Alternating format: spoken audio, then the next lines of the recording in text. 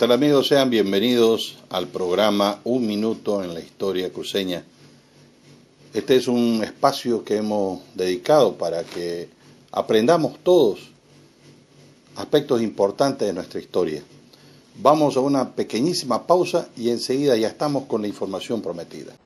Cuando los primeros rayos de sol tocan las hojas y la tierra, miles de hombres y mujeres ya están trabajando en las granjas. Son productores que cuentan con la eficiencia de la tecnología Plazón y sus servicios. Distribuidores exclusivos para Bolivia de productos de granjas para aves y cerdos. Corpag. Llame al teléfono 763 33 33 1.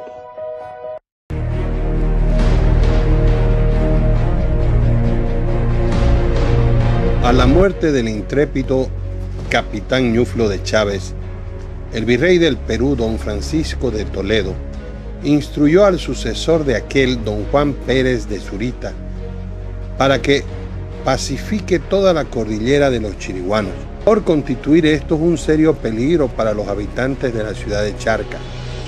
Para mejor ilustración y documentación, leeremos a continuación una parte de dicha autorización que dice, Luego que salgáis de la provincia de los Charcas, iréis a la parte que llaman la barrera, que es de vuestra gobernación, y con la gente y servicio que allí os viere de la ciudad de Santa Cruz, trabajaréis de echar de allí a los indios chiriguanaes y traer de paz a los indios naturales de aquella provincia, ofreciéndole amparo y defensa contra los indios chiriguanaes, sus enemigos y de quienes tantas vejaciones y daños han recibido. En otro párrafo del mismo documento dice, acabada la población de la barranca en forma que está dicha en el capítulo antes de este, pasaréis a la provincia de Condorillo, río Parapetí, donde en la parte más cómoda que os pareciere, fundaréis otro pueblo de la manera y por orden que os mando, que tuviese de la población de la barranca en aquella parte. Y antes que entréis a la ciudad de La Plata y su comarca, para mayor verificación que yo tengo hecha y de las que por la Real Audiencia de los de Charca se han mandado hacer, haréis información por ante escribano de los daños que los dichos chiriguanaes han hecho y hacen los indios naturales de Condorillo y La Barranca.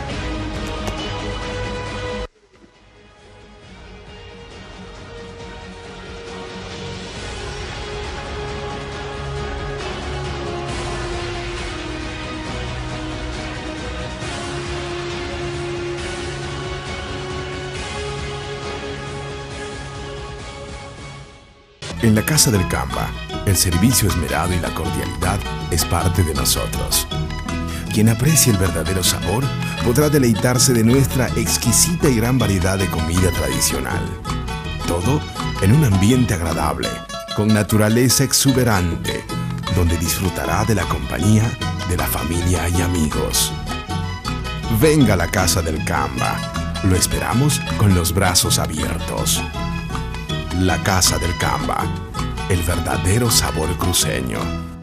Así como la luz da la claridad que nos permite ver en ciertos lugares, también puede darnos la claridad para entender más del servicio de energía eléctrica. CRE es la encargada de llevar la luz hasta su hogar. Sin embargo, le aclaramos que aunque el costo de alumbrado público venga en la misma factura de luz, este servicio y la tasa cobrada dependen exclusivamente de la honorable alcaldía municipal. Por tanto, para información acerca del servicio de energía eléctrica de su casa, llame a CRE. Y si es para su calle, avenida o plaza, llame a la alcaldía. Clarísimo, ¿cierto? CRE, 50 años de energía solidaria.